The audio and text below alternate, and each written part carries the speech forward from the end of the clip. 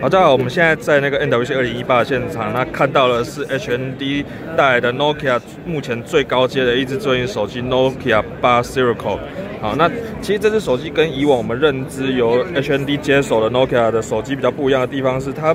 没有再去强调一个超低的。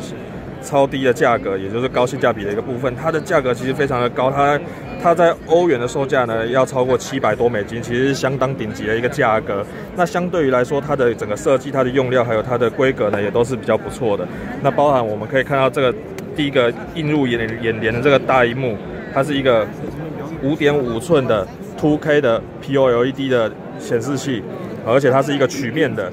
啊，所以整个质感呢，搭配一个曲面玻璃，它的质感就非常的漂亮。那正反面，正反面都是曲面玻璃的一个设计。那它的硬体规格呢，它包含了一个 S 八三五的处理器，六 GB 的运还有，呃，我看一下是二呃一二八 GB 的。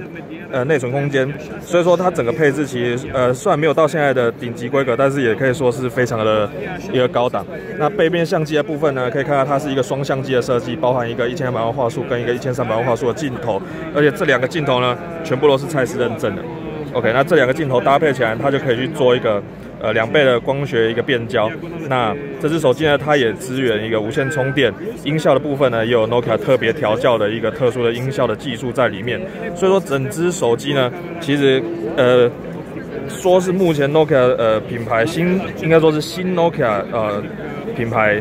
质感最好的一只手机也不为过。那整只手机拿起来呢，其实是蛮高级的。不过呢，它左右这个削边的设计，我觉得是蛮特别的。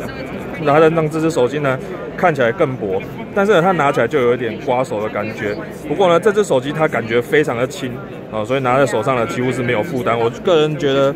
嗯，怎么说呢？应该还是 Nokia 目前最能吸引我的一款手机。